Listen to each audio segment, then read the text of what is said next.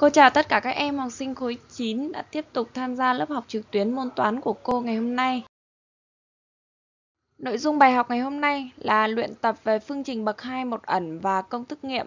Mời các em lấy sách tập ra để các em ghi bài. Trước khi vào phần luyện tập, cô sẽ nhắc lại một số kiến thức quan trọng mà các em cần phải nhớ trong bài học trước. Câu hỏi 1. Các bước giải phương trình bậc 2 một ẩn theo công thức nghiệm. Vậy thì bài học ngày hôm trước cô đã nói rồi, các bước giải phương trình ax mũ 2 cộng bx cộng c bằng 0 với a khác 0 theo công thức nghiệm gồm có 4 bước. Bước 1, bước 2, bước 3 và bước thứ 4. Các em nhớ lại. Như vậy quan trọng nhất là các em cần phải nhớ được công thức nha các em. Phân biệt được delta và delta phẩy. Delta thì tính theo công thức b bình trừ 4ac và nhớ cho cô trong 3 trường hợp của delta thì các nghiệm các em phải viết cho chính xác. Câu hỏi số 2, các em nhắc lại các bước giải phương trình bậc 2 một ẩn theo công thức nghiệm thu gọn.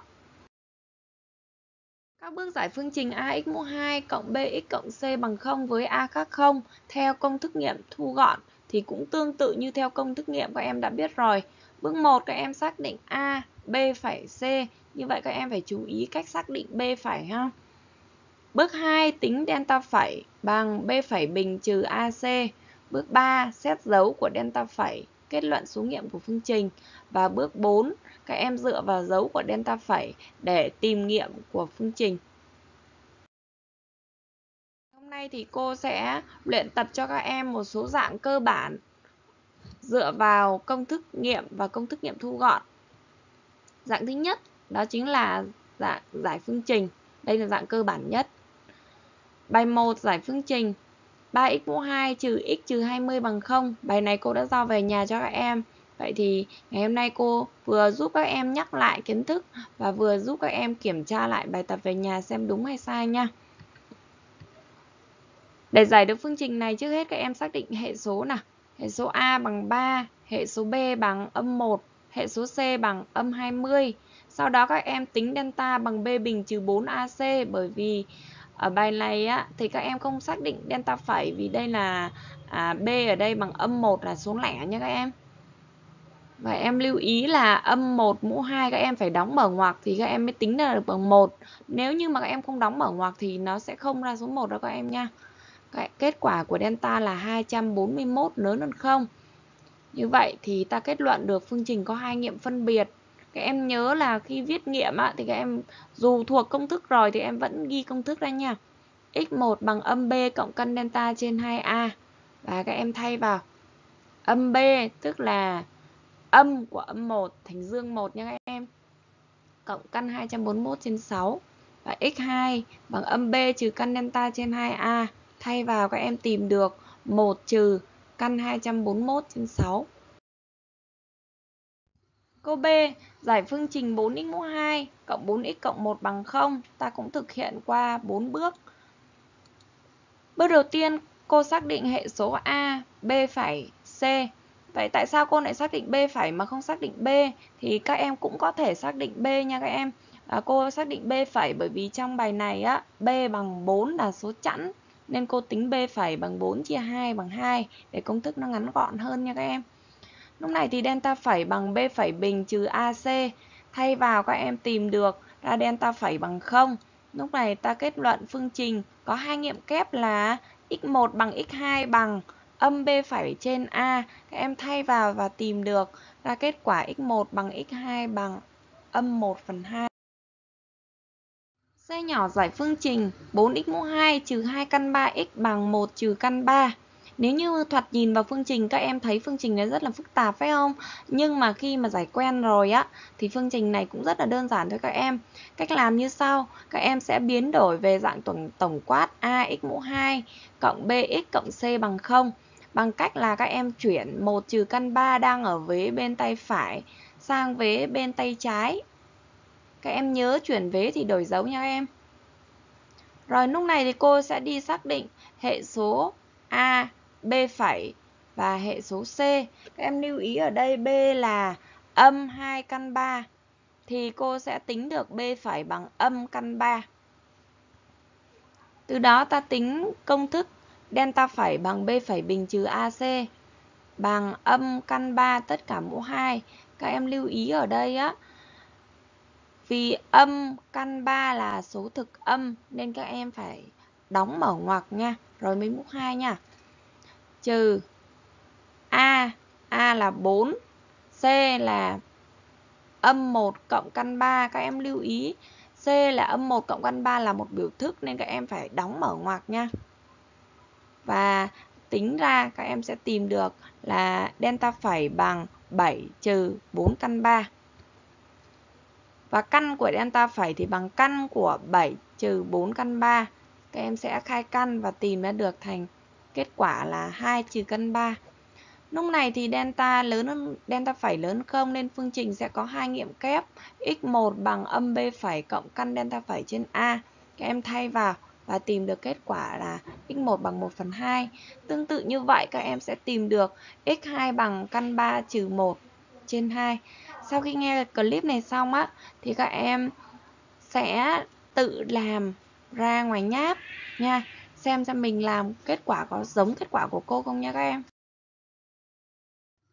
Khi giải phương trình bậc 2 thì các em chú ý một số điều sau. Điều thứ nhất là nếu như phương trình có hệ số a nhỏ hơn không, thì ta dễ mắc sai sót khi viết nghiệm của phương trình nên là ta khi giải á, thì ta nên đổi dấu hai vế để được một phương trình tương đương có hệ số a lớn hơn không. Trong trường hợp hệ số của phương trình là phân số thì ta khử mẫu số trước khi giải phương trình thì phương trình sẽ trở nên đơn giản hơn. Và lưu ý cuối cùng, ta thường dùng delta phẩy khi b là số nguyên chẵn hoặc một biểu thức có dạng 2b phẩy. Dạng 2, tìm giao điểm của đồ thị hai hàm số. Cho parabol P có phương trình y bằng x mũ 2 và đường thẳng D có phương trình y bằng 4x trừ 3, tìm giao điểm của parabol P và đường thẳng D. Để tìm được giao điểm của parabol P và đường thẳng D thì các em lập phương trình hoành độ giao điểm của P và D. Lúc này thì nghiệm của phương trình đó chính là hoành độ của à, giao điểm. Vậy ta lý luận như sau. Hoành độ giao điểm của P và D là nghiệm của phương trình x mũ 2 bằng 4x trừ 3. Phương trình này thì vẫn chưa phải là phương trình bậc 2 một ẩn nên cô chuyển vế đổi dấu để được phương trình x mũ 2 trừ 4x cộng 3 bằng 0. Đây chính là phương trình bậc 2 một ẩn rồi. Lúc này thì ta sẽ tính delta phẩy bằng b phẩy mũ 2 trừ AC. Và cô xác định b phẩy bằng âm 2 nên là ta thay vào âm 2 mũ 2 trừ A là 1, C là 3. Ta tính được delta phẩy bằng 1 lớn hơn 0. Khi delta phẩy lớn hơn 0 thì phương trình sẽ có hai nghiệm là x1 bằng âm b phẩy cộng căn delta phẩy trên a. Các em sẽ tìm được x1 bằng 3. Tương tự như thế, x2 các em tìm được bằng 1. Như vậy hoành độ giao điểm là 3 và 1.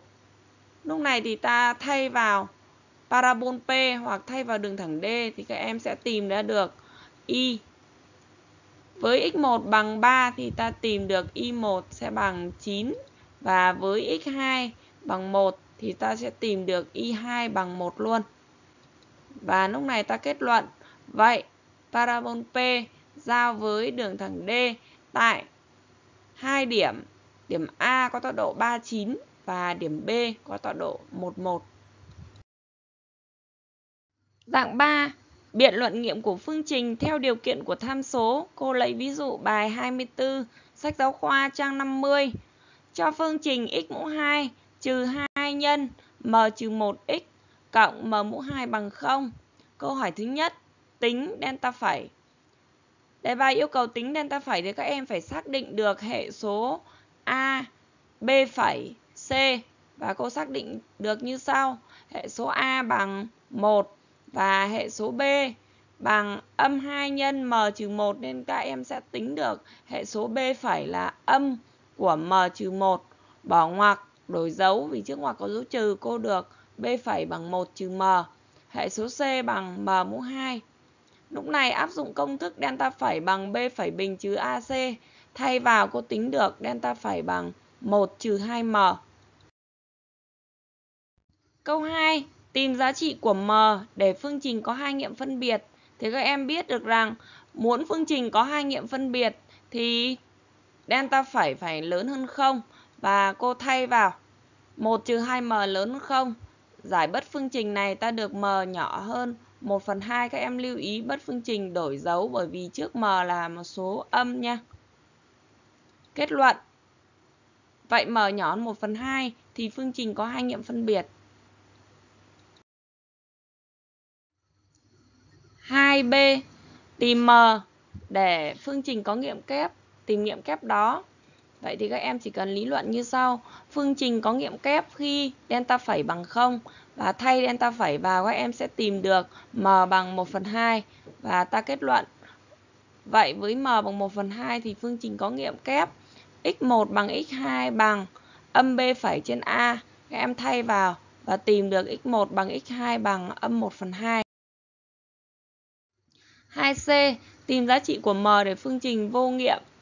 Đấy, câu này cũng rất là đơn giản thôi. Các em ghi như sau. Phương trình vô nghiệm khi delta phẩy sẽ nhỏ hơn 0.